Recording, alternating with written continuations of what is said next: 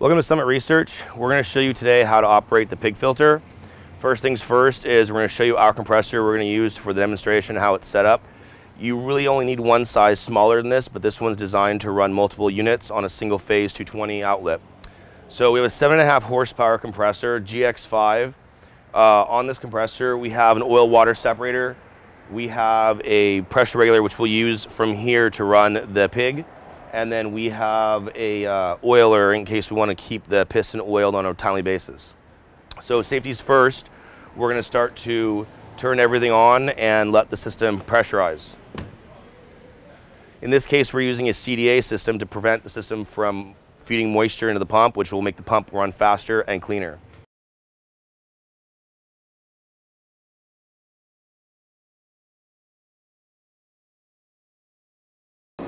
So the way that we set up the compressor is it's going to sit at 150 psi fully loaded and then we're going to crank down the regulator from between 50 psi to about 100 psi. Usually you'll be around 60 to 90 maximum.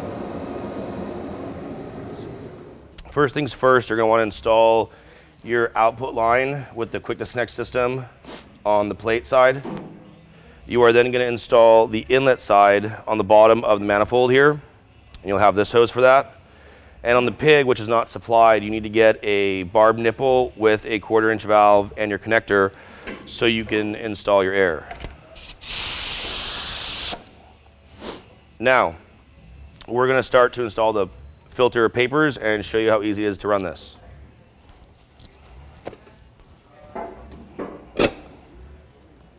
We're gonna be using a general 20 micron before we polish.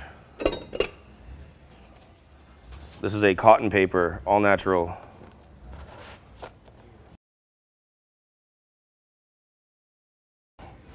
Okay, so the next step is really, really important. If you don't follow these steps, you're gonna end up having nightmare.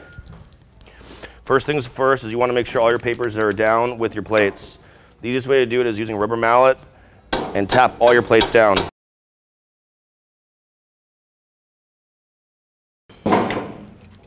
Now you're gonna wanna apply a mild amount of pressure, not much. Just keep moving the plates. There's a lot of weight here. It's about 250 pounds. Every time you move it down, you will align the plates. Now we're gonna come in and give it about a turn. They will move quite a bit with the ram.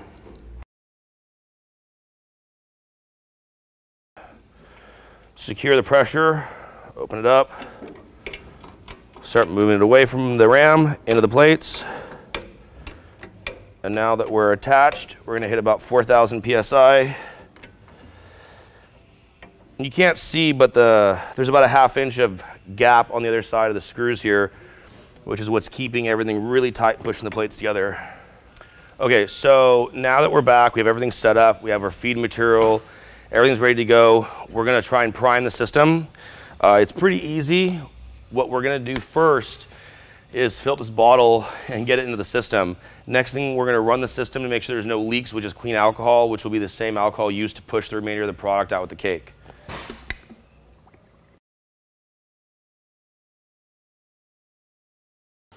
Pull it upside down. It'll start priming. Replace the hose.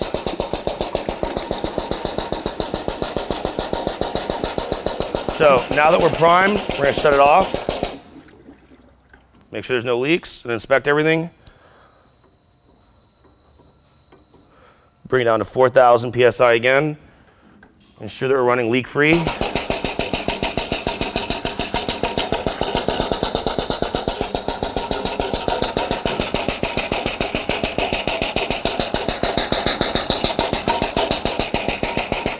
Now we're gonna switch hoses.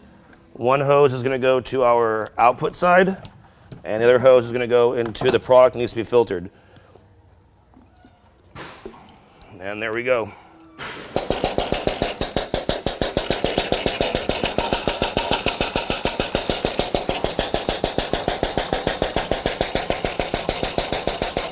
Now we're flowing. Real-time winterization speeds at room temperature I don't know if you guys can see this. That's what's coming out of the bin.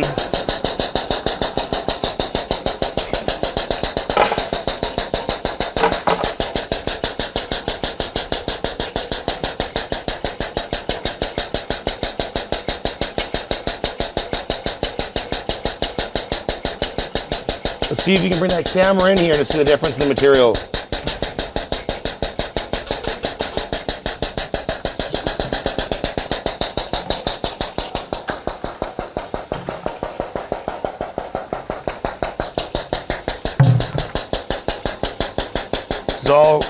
Temperature.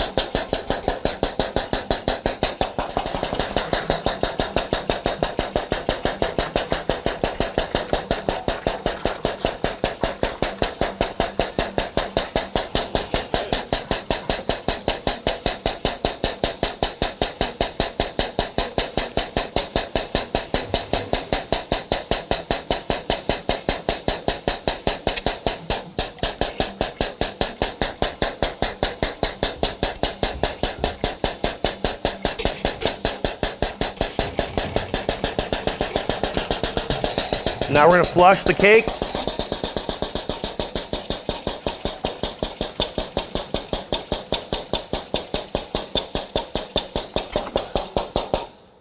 So we can end this system now. And what we're gonna do for this, uh, for this next part of the video is we're gonna replace them with, um, with a experimental half micron paper to show you the flow when we polish at room temperature. So let me empty the system out first.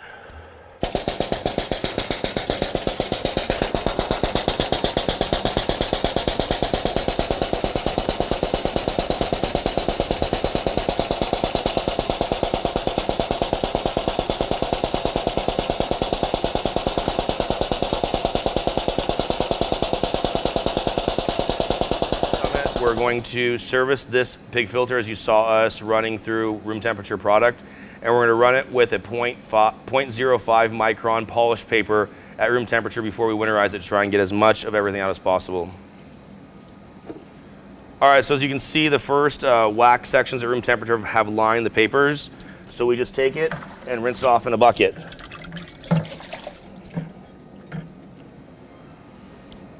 Pull the papers, and start putting it in line one by one. And it is a little bit easier to do it with a sprayer. We want to show you guys how it is real hand, real time. So you can see that these papers have already collected a lot of waxes and a lot of particulate even at room temperature.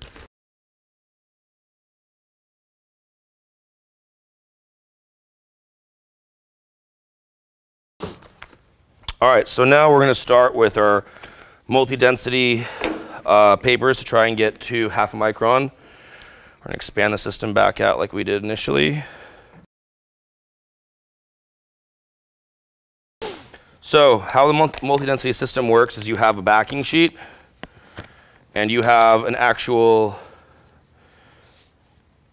high flow, low micron sheet. So first we put the backing sheet in place with the low flow mic with the high flow micron, high flow low micron sheet.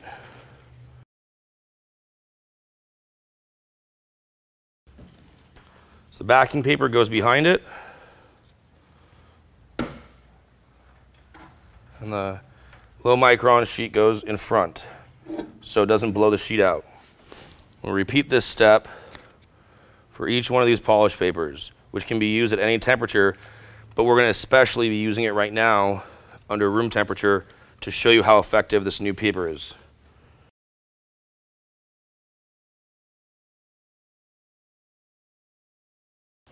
So these papers are actually experimental.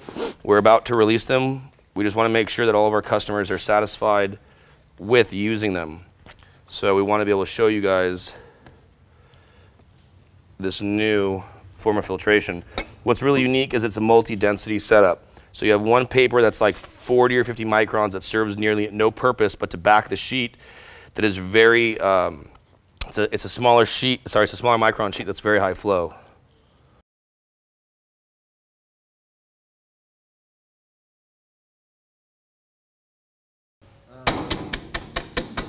Okay, so now we're here.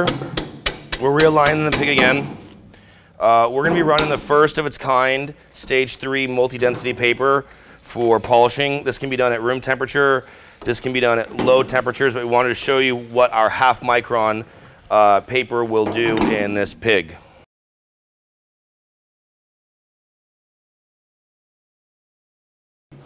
Now, this is multi-density, so you have to be very careful not to cut them, but we also want to get a high pressure because these are soft papers.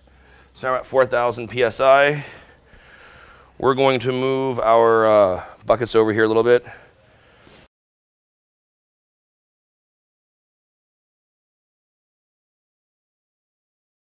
All right, so now we're just gonna have him hold this because a little bit more pressure is gonna come behind the system. I've lowered it from 60 PSI to 50, and we're gonna start pulling from one dirty bucket that's already been rough filtered into the half micron filter papers. And we're gonna start off slow.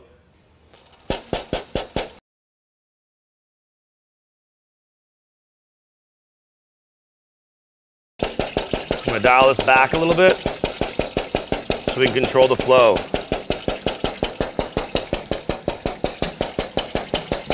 Now we're going to pull as much particulate out of the system as possible prior to winterization to get the most winterization steps possible.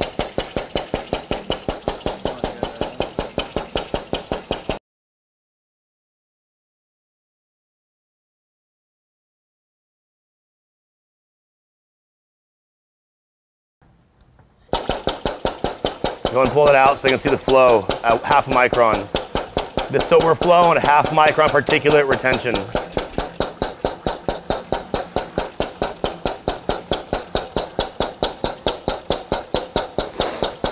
So we're gonna do the same thing as we're gonna run this through and then we're gonna push the cake out. All the material in the cake's gonna come out.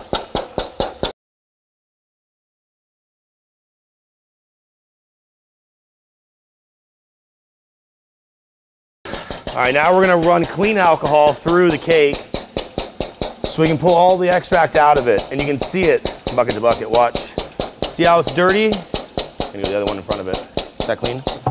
We're gonna shut this down and we're gonna transfer it over so you guys can see how we clean the cake out to get all the extract out of it. Which is very unique. Most filters can't do this.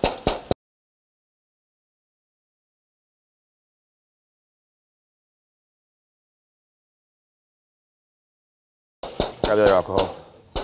So run a little bit more through here.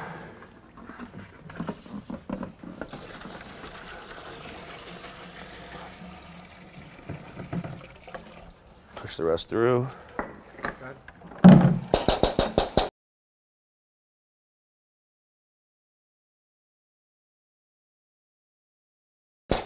Now let it drain out. Hold the hose up like this.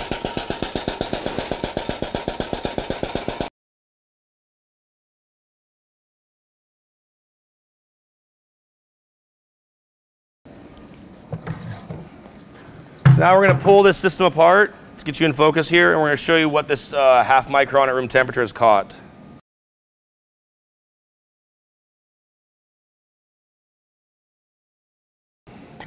So if you bring in that camera close, we're going to show you everything that these papers have pulled out, which means they pull out typically a lot more when they're winterized.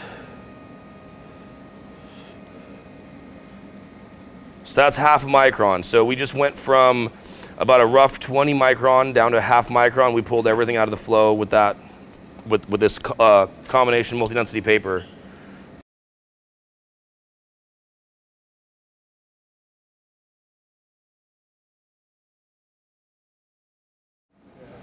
Okay, now we're gonna do another really interesting pull. This is using a silica as filtration. It's gonna bed it out. So we're gonna start by putting in a stage two paper.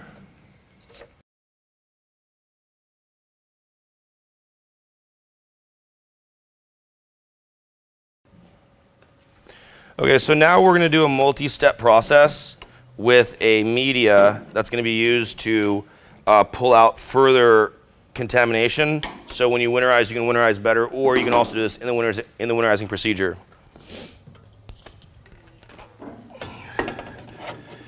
Put this back on here.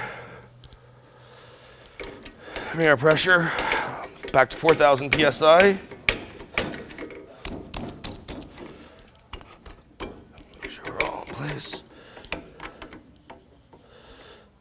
All right. I don't need those first. So we're going to use a method with silica that is going to help cake up the paper and pull more contamination out. Put all this stuff out of the way.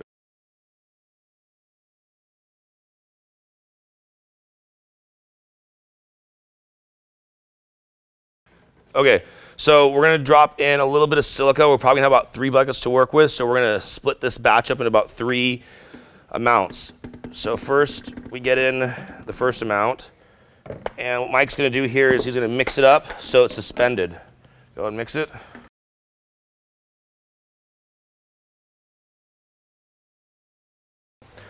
So now that Mike is suspending the silica in the solution, he's going to start to create uh, a suspended solution that can start lining the papers as it goes and it will start to pull more of those heavy waxes or particulate out. This is really useful for green materials. So we're going to start now. And Bryce is going to wash the discharge side to make sure that we're just filling up jugs ready for winterization. This can be done prior to winterization or after.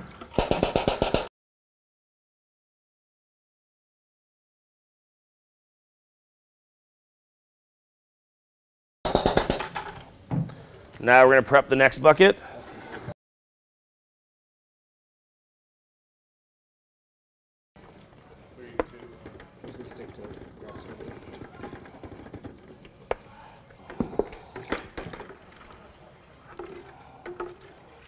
So now that we're prepping the next bucket, we're going to go into it. Keep mixing it.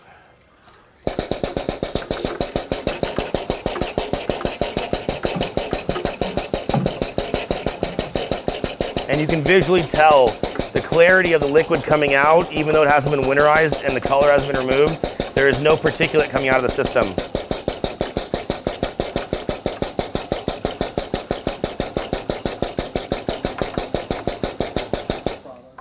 And now he's going to switch over to the other bin. Now Mike's keeping this moving non-stop so we can line that paper continually.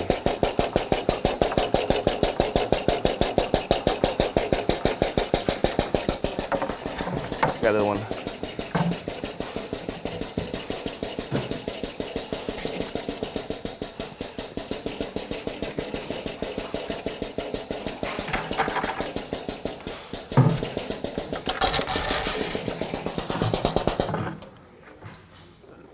And now the last bucket. And we don't need to put too much silica in here because we've already lined our uh, system with plenty of silica.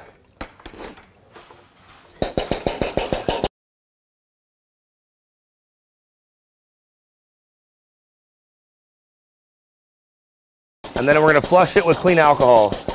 Look, go, stop, go grab your clean alcohol. And this will pull everything out of that cake as well.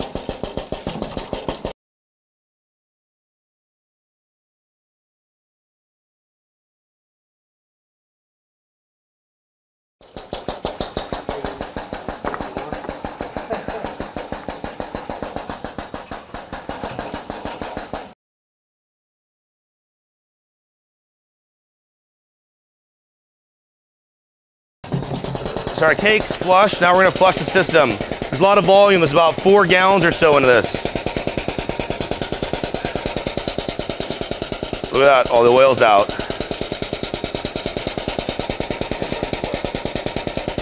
So this is real-time speeds with the whole entire thing filled with sand. That's pretty impressive.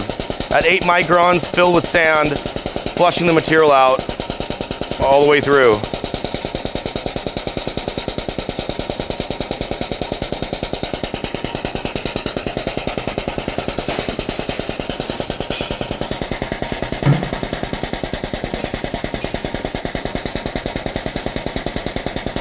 Put that in that so I can take it home in that thing. Okay. And that's uh, the easiest tips and tricks on running a pig filter. We will be coming back at a later point in time to show you uh, what it's like after this product has been completely winterized and frozen out. We'll put it through once on a uh, stage two uh, paper and we'll show you guys how that works. Thank you.